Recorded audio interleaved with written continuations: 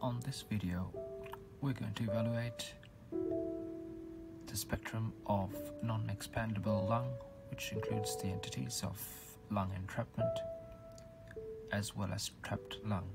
The two terms form part of the same spectrum but can be slightly different depending on the pathological extent. Here you see a portion of the lung which has collapsed with the surrounding pneumothorax and this is despite the presence of an intercostal tube.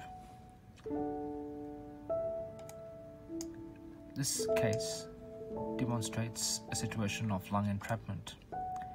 The key differentiator from trapped lung in terms of strict definition is that in lung entrapment there is active pleural inflammation or disease that prevents the lung from expanding out.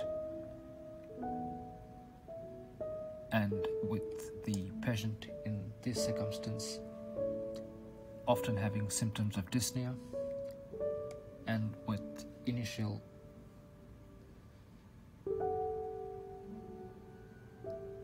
pleural sampling yielding a positive pleural pressure.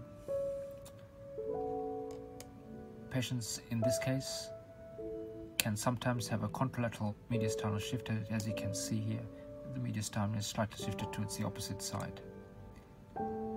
In those with trapped lung, the mediastinum can often be deviated to the ipsilateral side and with the reason for the non-expandable lung being a more chronic fibrinous restriction.